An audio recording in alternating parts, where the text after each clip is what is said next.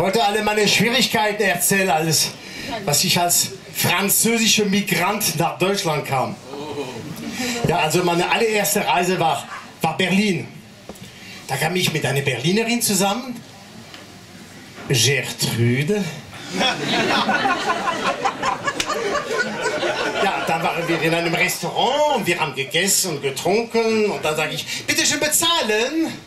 Und wir reden weiter, bla bla bla bla. Plötzlich kommt die Kellnerin an unserem Tisch und sagt, getrennt oder zusammen? In Frankreich ist man ja nicht gewohnt, diese Frage im Restaurant. Dann habe ich schnell überlegt und habe gesagt, wir sind noch nicht zusammen, also von getrennt ist noch nicht die Rede.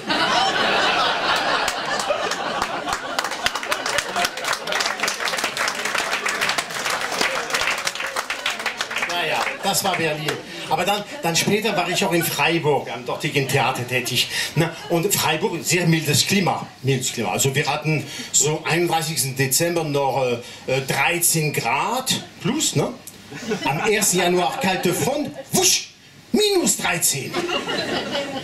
Und in meine WG kam einer rein und sagte, "Oh, heute ist aber wirklich arschkalt.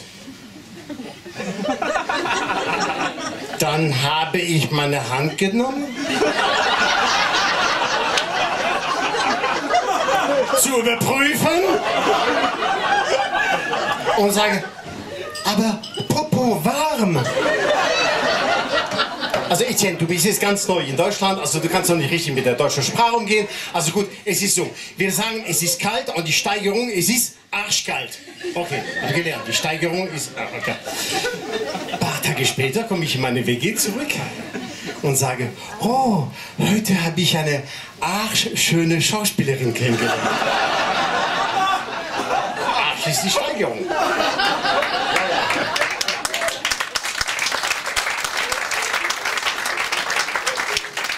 Ja, also immer noch in Freiburg. Freiburg, da, da, da wollte ich auch mit dem Intendanten zusammenkommen und wir hatten damals noch kein Handy, sodass ich zu der Sekretärin raufgegangen bin und haben gesagt, ich möchte gern ein Rendezvous mit dem Intendanten haben. Da war die Sekretärin sofort gelähmt. Also, Sie müssen wissen, in der französischen Sprache Rendezvous bedeutet erstmal ein Termin. Äh, äh, Rendezvous in deutscher Sprache wäre Rendezvous amoureux, sodass ich meine Frage wiederholen müsste. Ich möchte gern ein Rendezvous mit dem Intendanten haben. Und die Sekretärin immer noch ganz verklemmt sagte, wissen Sie, unser Intendant ist glücklich verheiratet.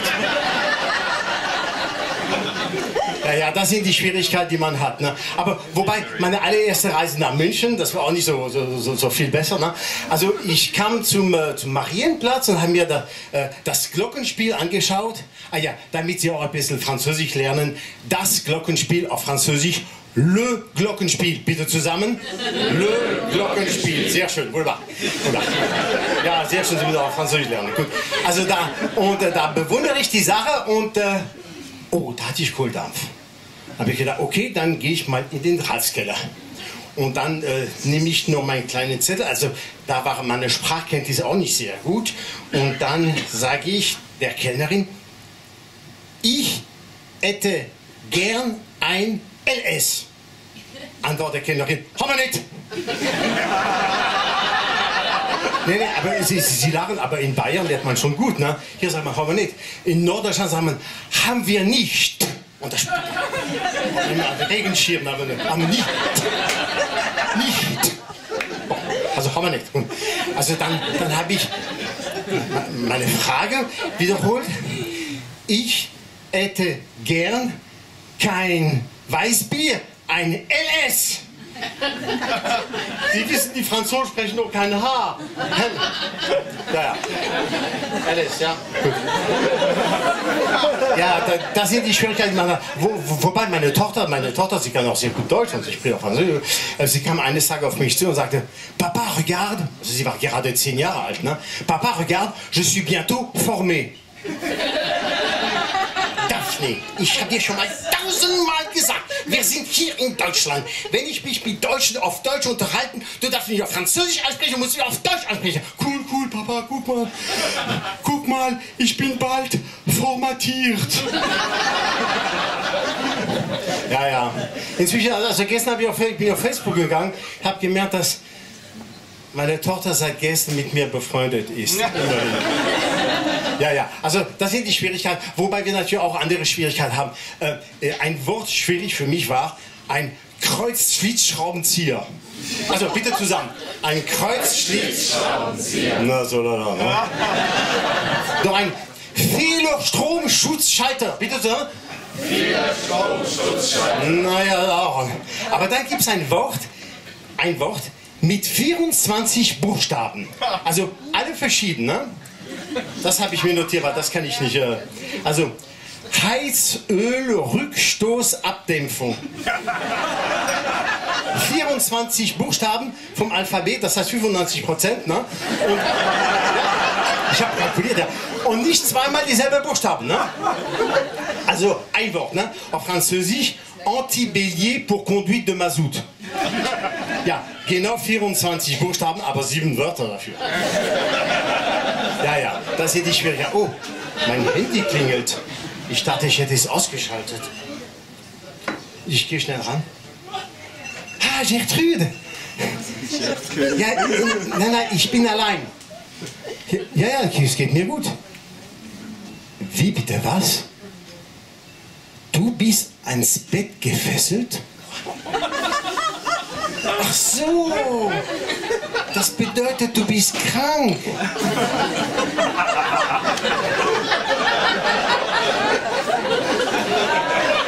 Okay, weißt du was, ich rufe dich in ein paar Minuten zurück, ja? Okay. Ja. Wir haben auch, sie bringt mir auf Idee, ne? Wobei, in Französisch haben wir auch so eine Redewendung. Man sagt cloué au lit. Also Lit, Bett, cloué, genagelt. Ja, das ist eigentlich ganz interessant jetzt. Ne? Also nicht umsonst erzähle ich diese Geschichte. Ne? Weil äh, das heißt, die Deutsche ist am Bett gefesselt und der Franzose kommt zum Nagel. Das nennt man die deutsch-französische Zusammenarbeit.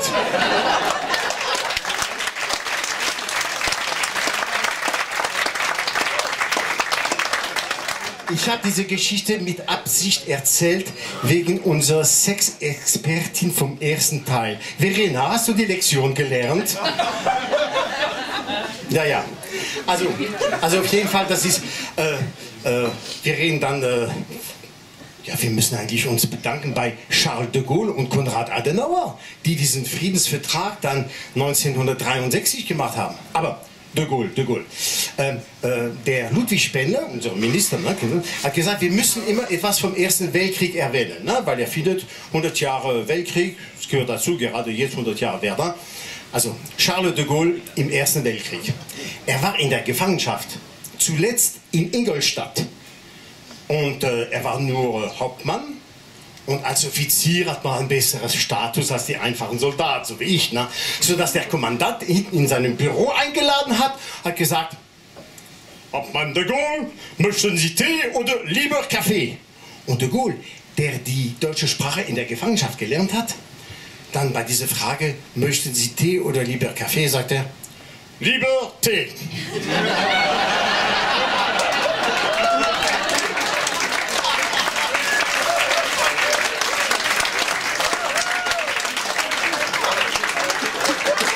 Das lohnt sich, die Sprache zu lernen. Ja, und das habe ich auch mit Gertrud gemacht. Ne? Also da waren wir auch das Wort beispielsweise, kannst du mir das Wort buchstabieren? Ja, L-I-E-B-E, -E, wunderbar. Und äh, sagt, sie fragte mich dann, ob ich auch das Wort Amour buchstabieren kann. Sagte ich, ja. Ah, hm, oh, uh. Ja, ja. Aber, aber dann habe ich schon festgestellt, dass irgendwie Deutschland Frankreich liebt. überlegen Sie mal, jeden Morgen, das sieht man. Jeden Morgen gibt es Croissants.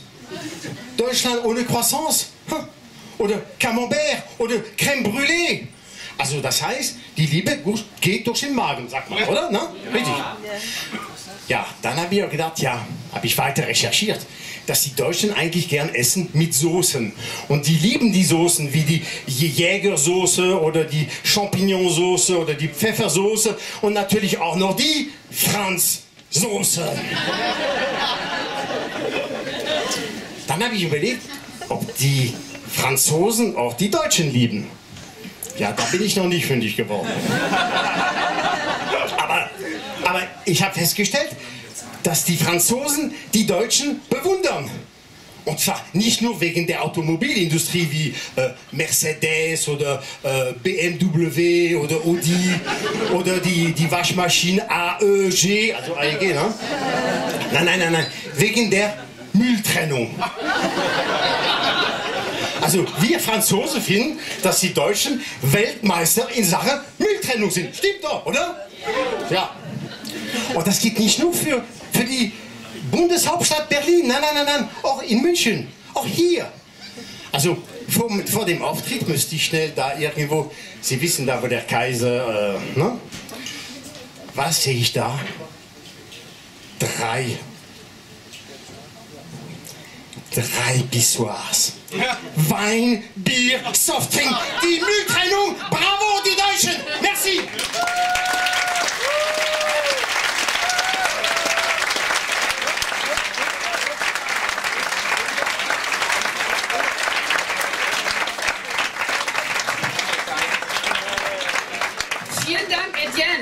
Wunderbar.